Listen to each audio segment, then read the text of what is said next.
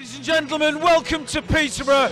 Sunday night is hockey night, and we've got a Planet Ice NIHL National Division fixture between the Waldeck Peterborough Phantoms and our friends from down the road, the Milton Keynes Lightning. And of course, last night, MKL got the home victory, the Phantoms' third defeat of the season, and uh, they'll be looking for revenge on what has been themed as Halloween Fright Night.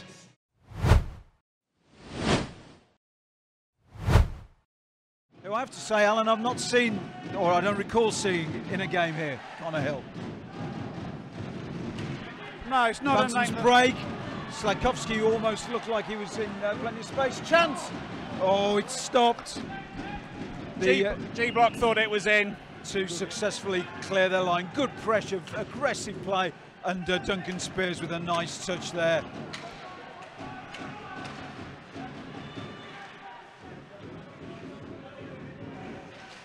Glenn Billing.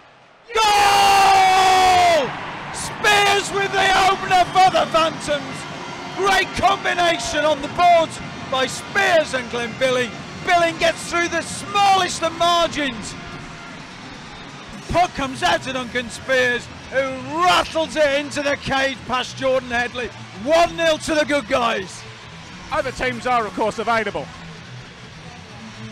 But from a position of relative, not weakness, but the Phantoms were under pressure. They were having difficulty clearing the zone, but it wasn't in the net. So that's Tim Wallace who swipes it round, and uh, MK have responded brilliantly to conceding first. What a goal! Nag shoots, screen in front of uh, uh, in front of Jordan Marr.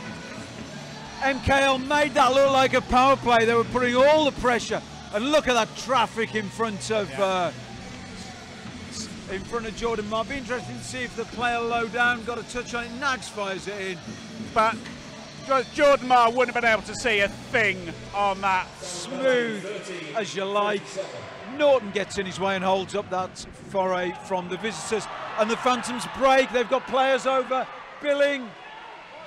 Oh, yes! It's the go-ahead goal for the Phantoms! Number two, Tom Norton! Taking a Billing shapes the pass, goes for the shot, and uh, so Headley makes the initial save. think Tom- it's Norton with a goal. Tom Norton's Johnny on the spot to poke home the loose puck. Even strength goal.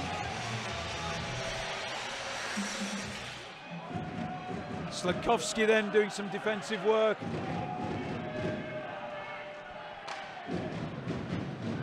Robson. Big chance here for the Lightning. Goal! There's the leveler! What a finish by, uh, well, uh, David Sarkanis. yeah, I think it was. So some things are worth waiting for by the looks of things. And an absolute snipe of a finish from the uh, from the uh, MK import. So we await official confirmation of scorers, assists, and times. Headley's uh, back in position now. What a game!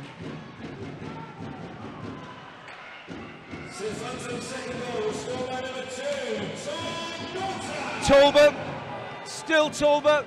Goal! 3 2 to the Lightning. Crazy, crazy four on four hockey. Something like a minute and 22 seconds have seen three goals. Two unanswered goals by the Milton Keynes Lightning. See the visitors take the lead for the first time. Great play. What a game to watch. So Uh, brave D by the Phantoms, guys throwing himself in front of that, but Talbot lifts it over him.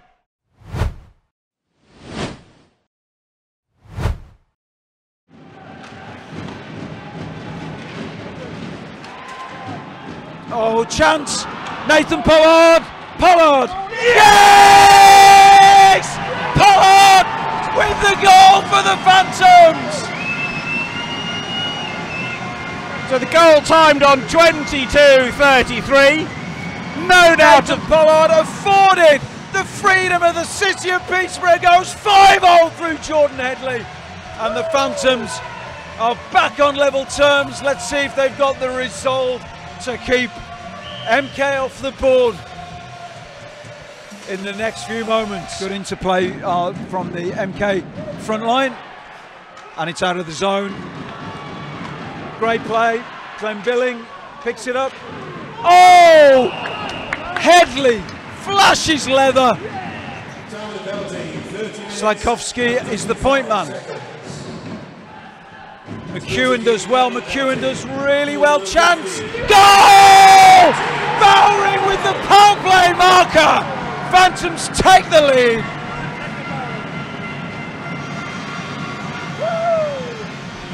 Let's take a look at the replay. So the cross ice pass from McEwen to Bowering. Bowering rattles it past Jordan Headley, who's been lights out in this period. And the Phantoms, with two unanswered goals, restore their lead. Phantoms fans banging their drums on. Looked like Sladkowski thought he'd got it. He has at the second bite of the cherry, loses it, and Bowering needs. And that's. and that's Oh! Norris goes. Tilt, Bowering and Norris. A Couple of bombs from both of them. Bowering had uh, Bowering had chipped the puck into the MK uh, bench. Norris unhappy and uh, Norris on points. I'm wondering if Norris thought that Bowering had chipped that over into the uh, into the MK bench deliberately. So Bowering puts it out.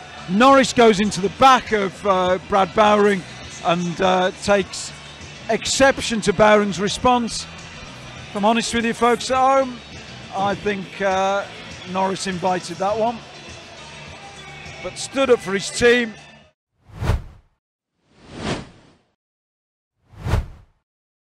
This is the uh, fifth, sixth, eighth, ninth penalty of the game.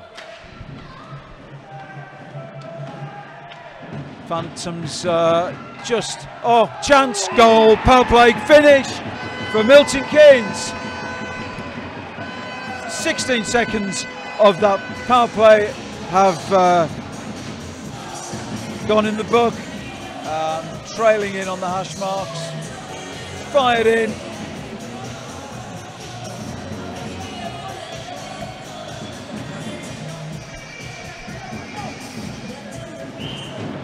Gets his pass picked, and uh, it should come back to Bouglas. So just interesting, isn't it, that Bouglas is playing on the halfway line. Norton, the D-man behind him, but Bouglas is a uh, enterprising and forward-thinking chance for Norton. So, well, that's. Well, do you know what? I thought that had been taken from Headley. The whistle had gone. That's not going to be a goal. It is a goal. Betsy Balfour's called it. Headley is Well- absolutely incensed. Got to be honest with you, viewers at home.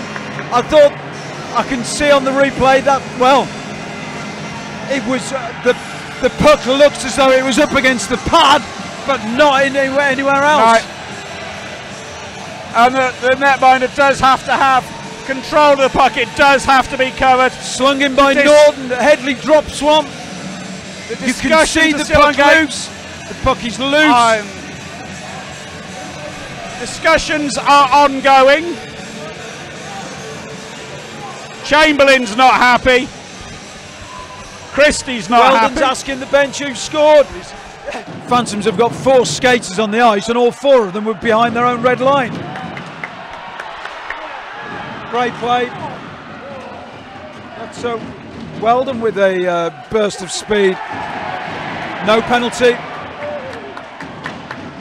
Oh, good stuff from Headley once more. Short-handed Phantoms doing well. They have to get back. That's a good shift, but uh, MK come again, and there's still 53 seconds of the power play on the clock.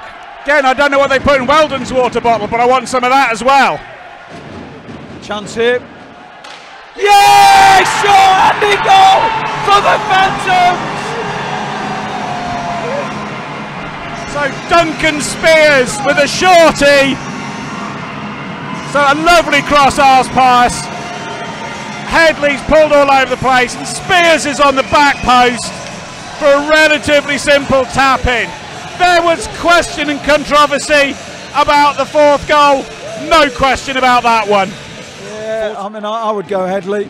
Um, McEwen there. Chance here. Lucas Sladkowski. Still Sladkowski. Oh, it's a fantastic finish! Lucas Sladkowski undresses Jordan Headley. Phantoms have a three-goal lead. An absolutely filthy goal from Sladkowski there. If that was any dirtier, it'd be wrapped in, in brown paper and kept on the top shelf. Phantoms seven, MKL four.